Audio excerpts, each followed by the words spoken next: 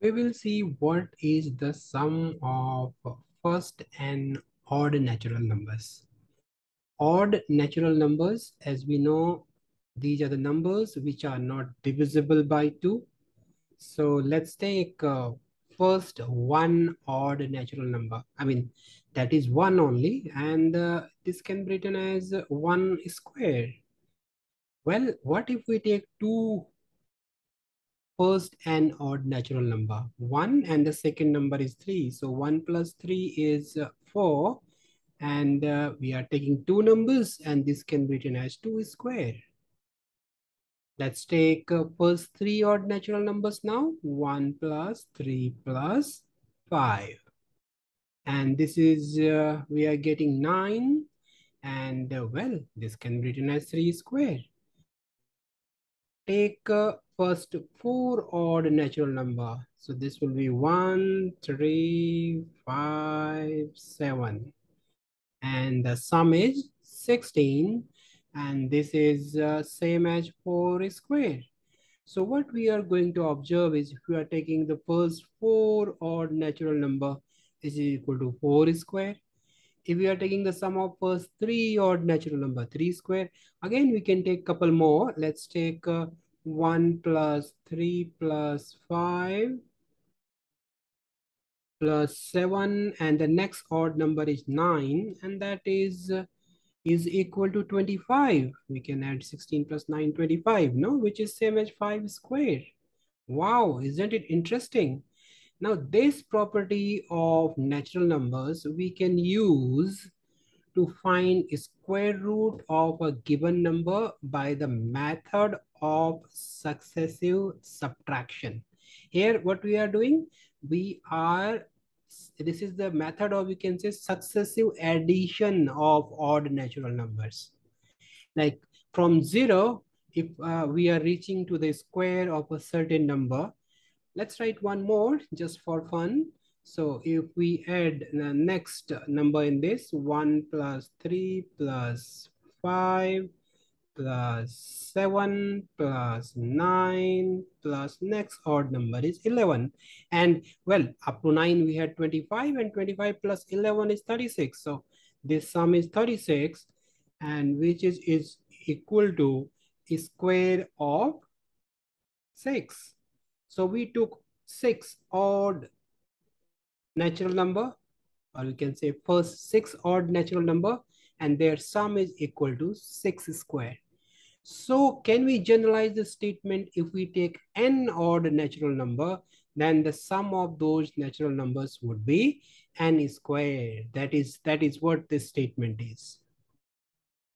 And now we are going to take the same statement to find square root by successive method of successive subtraction.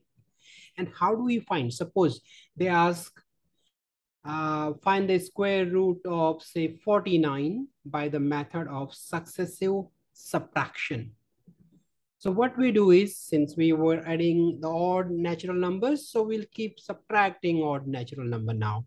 In step one, 49 and subtract one. So 49 minus one is 48. And then step two, you, you are going to subtract three now the next odd number. So 48 minus minus 3 should be 45. Now the third step, 45 minus 5, that is 40. Well, the next is fourth step, 40 minus next odd number, 7 should be 33. And then fifth step, 33 minus next odd number is 33 minus 9 should be 24. And we continue like this and we will take next number, which is say, this is step six and uh, we will subtract 24 minus 11 and 24 minus 11 is 13 And in seventh step, we get,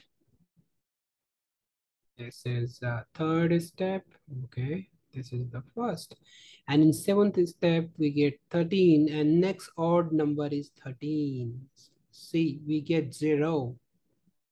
That means it is actually the sum of how many? Seven conjugate, you can say the 49 is actually the sum of first seven odd natural number. And then we can conclude the square root of 49 is same as 7. Look, this is like in how many steps, uh, how many odd number, natural number we subtracted. So step one, step two, that's why we, we wrote step. In seventh step, we are getting this answer. That means square root of 49 is 7. And if you see the these first odd number also, this is first, second, third, fourth, fifth, sixth, and seventh number. So that's why square root of 49 is 7. Well, how would you find the square root of the number which are not perfect square by, um, by this method? Of course, you cannot, but you can tell whether a number is a perfect square or not by the mat method of successive subtraction. How is that? I mean, you can have a question like check whether 28 is a perfect square by the method of successive subtraction. So you will check if 28 is a perfect square, after a certain number of time, we must get zero. If we keep subtracting odd, you know, first n odd natural numbers from it. So let's start.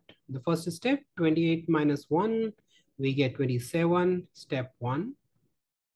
And uh, step 2 should be, we, we are going to find out whether 28 is a perfect square or not. So 27 minus 3 will give us 25. No, is that 24? Yes. And then in third step, 24 minus 5, we should get 19.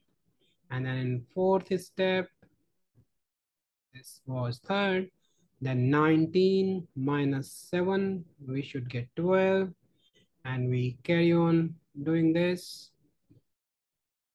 The next step is we had 12, right? This was 12. Then 12, this is step number five. So we get 12 minus 9, that is 3. And in sixth step, we get 3 minus 11. So negative of 8. See, we didn't arrive. We didn't reach to 0. We didn't get 0 in any of these steps. We have uh, moved to the negative side of uh, integers. That means 28 is not a perfect square. And uh, we cannot find the square root of 28 by the method of successive subtraction of odd natural number.